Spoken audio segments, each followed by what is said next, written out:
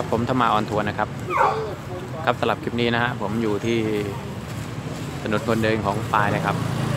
อยู่ในอำเภอปายนะครับสำหรับวันนี้นะฮะจะเป็นวันอาทิตย์นะครับนักท่องเที่ยวก็จะมากมากหลายคนเหมือนกันนะครับ เยอะเหมือนกันนะครับ ก็เป็นวันหยุดยาวนะครับอันนี้นะก็เป็นบรรยากาศที่ ถนนคนเดินของปายนะครับ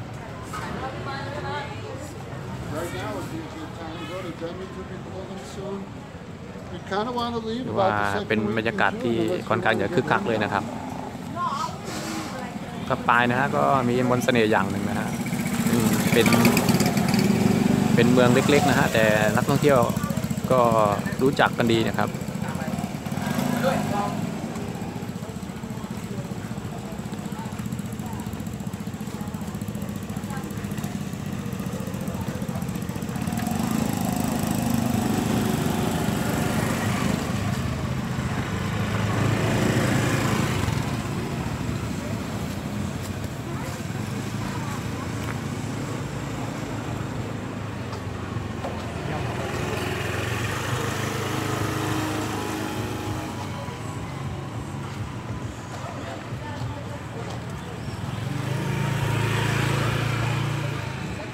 ค้าก็หลากหลายเหมือนกันนะครับ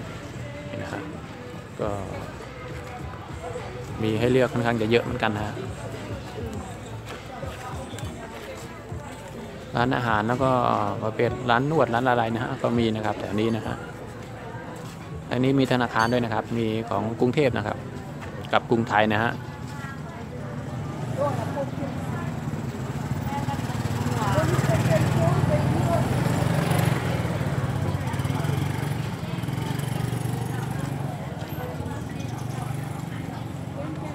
ก็ ร้านนี้นะก็จะเป็นตามรูปตัวเองนะครับนี่นะราคาตามรูปตัวเองนะเป็นรดกะโปรดการ์ดนะครับ35 บาทนะฮะสามใบร้อยนะครับนี่นะฮะก็อย่างรูปแบบแบบนี้นะครับนี่นะฮะ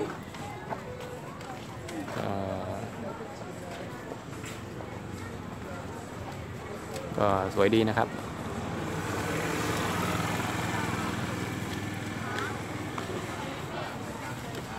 นี่นะฮะเป็นเคยร้านนี้นะร้านถือว่าเป็นร้านที่ชื่อดังนะครับ น้ำกระบอกเมืองปลายนะครับนี่นะฮะ Bông nhỉ, nhỉ? นี่นะน้ำกระบอกเมืองปลายนะครับนี่ฮะก็จะเป็นกระบอกไม้ไผ่นะครับนี่นะฮะปลายนะครับ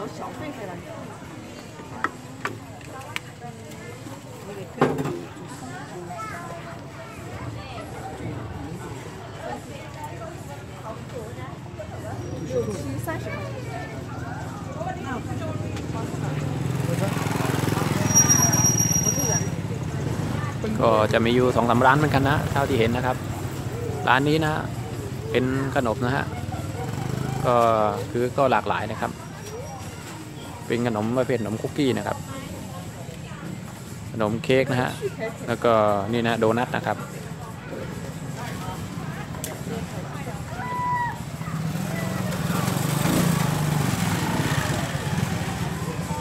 นี่นะฮะก็อีกร้านหนึงนะฮะที่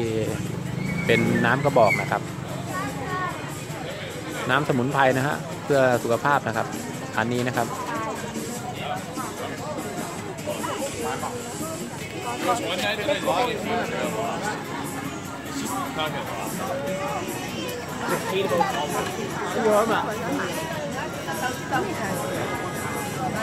ร้านนี้จะเป็นร้านเออ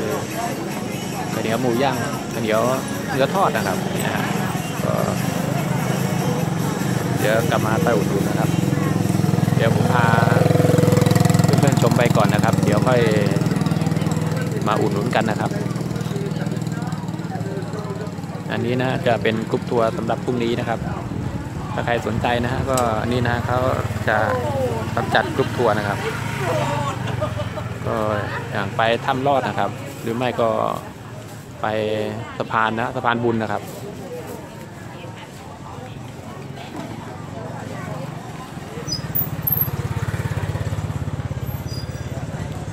ก็วันนี้คึกคักเลยนะครับ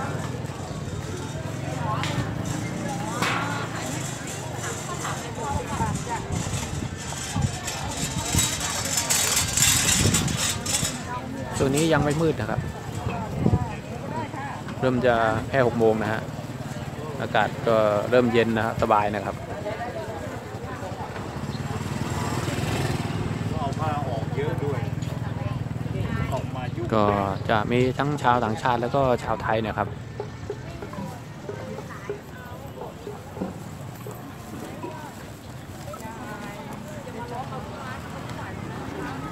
ก็เป็นสินค้าที่ระลึกก็มีนะ ของใช้นะครับ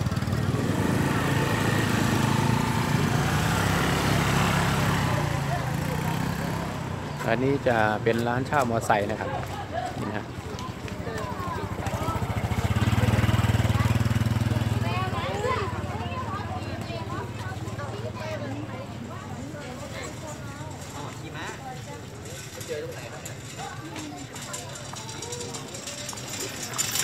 ว่าถ้ามือปันนี้นะก็คิดว่าน่าจะคึกคักกว่านี้นะครับ ต้องปักขึ้นมา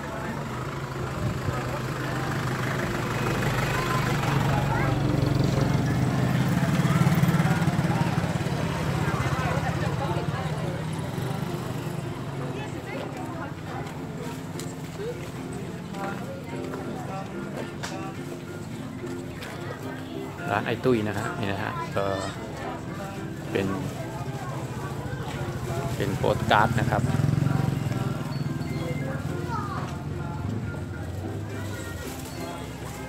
หลายรูปแบบนะครับ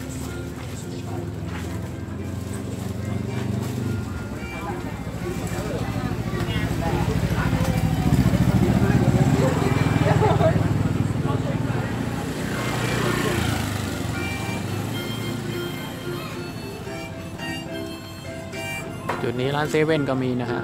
ก็มีทุกที่นะครับเซเว่นนะครับ อันนี้นะก็เป็นสีสันของเมืองปลายนะครับ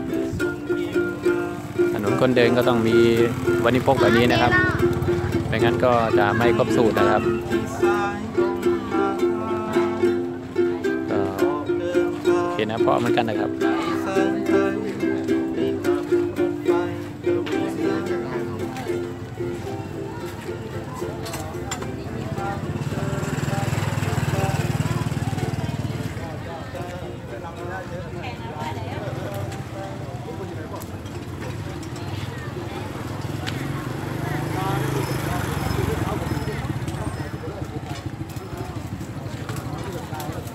ก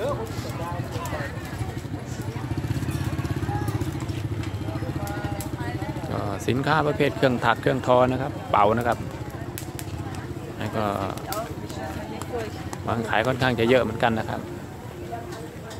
ก็เป็นสินค้าสำหรับประเภทเมืองหนาวนะครับ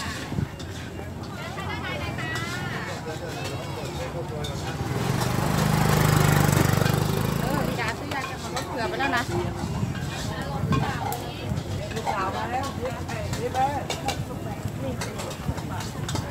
อันนี้นะก็จะเป็นร้านอาหารที่ประเภทหอยหอยทอดหอยทอดผัดไทยนะครับ นี่นะเมื่อเมื่อคืนผมมานั่งทานนะฮะก็รสชาติก็ใช้ได้นะครับ หรือว่าผ่านนะครับ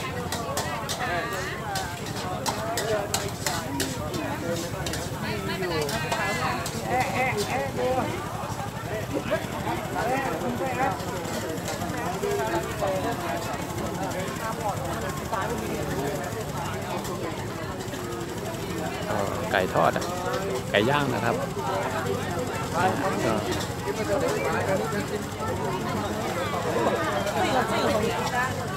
ให้ให้ให้ให้นวดอ่ะ 花了一千多，一千将近一千五。 อันนี้เขาเรียกเขาบอกว่าเป็นสองทุ่มเจอกันหน้าอำเภอข้าวปุกงาดำนะครับ ราคา 20 บาทนะครับ นี่นะฮะก็รูปร่างหน้าตาก็จะเป็นแบบนี้นะครับอาเทียมคืออะไรเนี่ยเขาเป็นแหนนี่นะก็คงจะเป็นข้าวเหนียวดำนะครับพี่ใช่ทำด้วยข้าวเหนียวดำไหมเจ้าก็หมูดำนะก็เป็นข้าวเหนียวดำนะครับโอ้แล้วทำไมมันย่างแล้วมันทองทองๆเนาะ ก็ลักษณะคล้ายๆข้าวเกรียบนะฮะแล้วก็ใส่นม ใส่ใส่ถั่วแต่ทุกอย่างที่มันหวานแม่นั่นแหละถั่วแล้วนั่นถั่วเหรอถั่วคะงาทั้งถั่วทั้งงาได้ถั่วอันนี้ถั่วเหรอรสชาติคล้าย ๆ กับโรตีไหมอ๋อน้องพี่ไปอยากกินขนมเส้นนะก็ราคา 20 บาทนะครับนี่นะ ฮะก็นี่นะฮะก็สำเร็จแล้วนะครับเซเว่นเข้าไปค่ะลักษณะจะเป็นแบบนี้นะครับ ก็เดี๋ยวเราไปกันต่อดีกว่านะครับข้าวปูผาดำก็ร้านนี้นะก็จะขายพวกของแพ็คนะครับ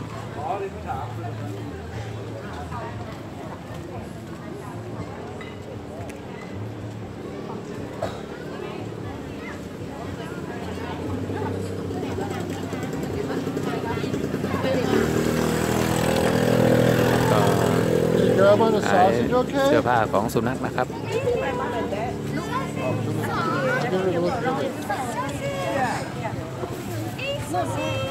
You have to come on my side if you don't, if you want me to look at you.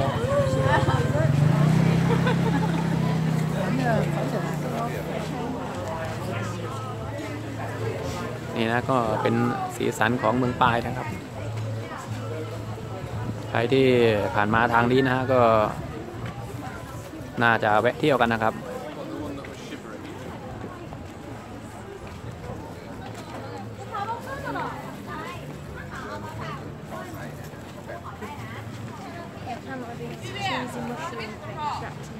一倍。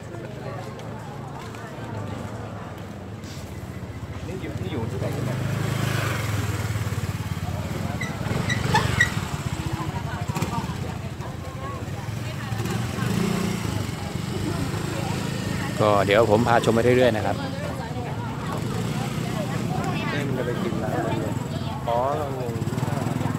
ก็จะมีสองฝั่งนะครับ คือซอยนี้นะฮะก็ เดี๋ยวไปทางนี้ก่อนนะครับ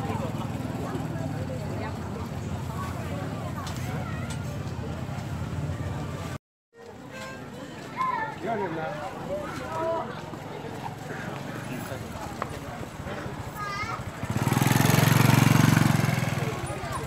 เดินไปต้องระวังไปด้วยนะครับ เพราะว่ารถมอเตอร์ไซค์ยังเข้าอยู่นะครับ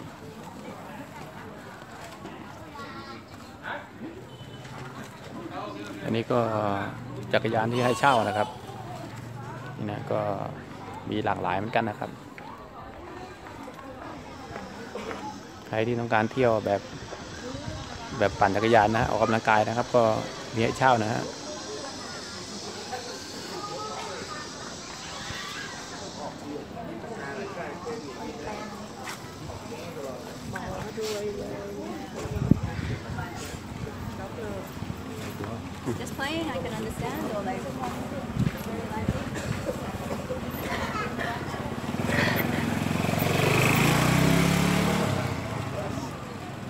จัดให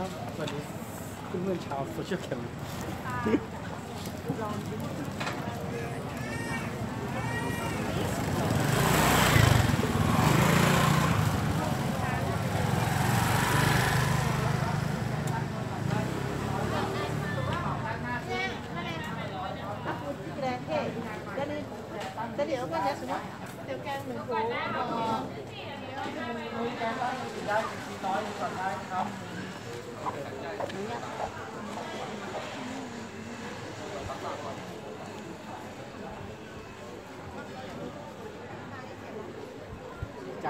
แม่มาลัยมานะครับ แล้วต้องพี่ต้องเข้าทางตลาดด้วย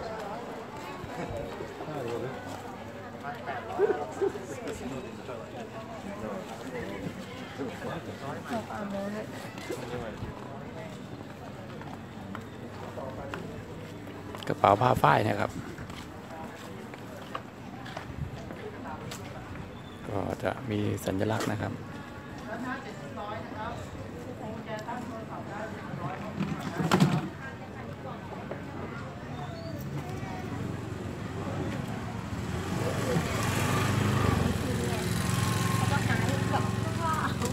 ร้านสบายดีนะครับ จะเป็นร้านที่มีโปสการ์ดนะครับ ก็หลากหลายนะครับ ราคาก็ไม่แพงนะครับก็สิบบาทนะครับ แต่ของเราที่ขายอะทำ ไมอะอันไหนตรงนี้ก็มีนะครับนี่นะฮะ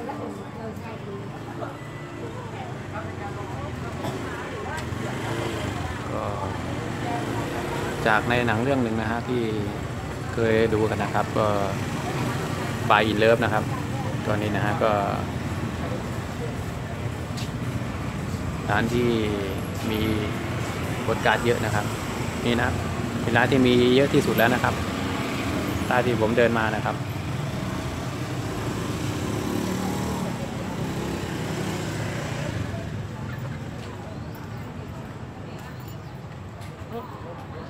ก็ เป็นโปสการ์ดหลากหลายนะครับ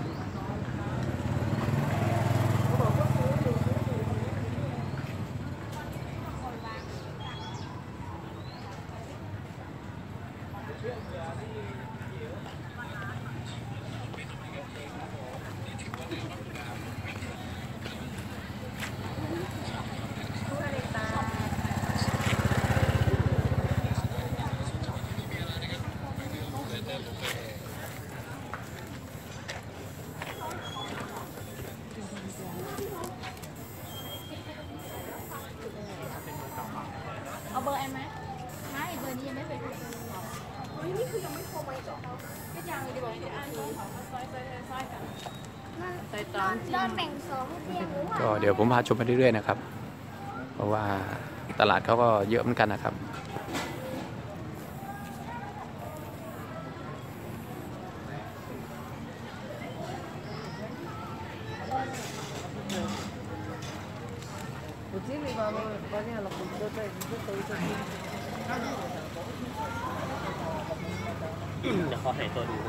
นี่ก็อีกร้านหนึ่งนะฮะที่ มีโปสการ์ดขายด้วยนะครับนี่นะฮะ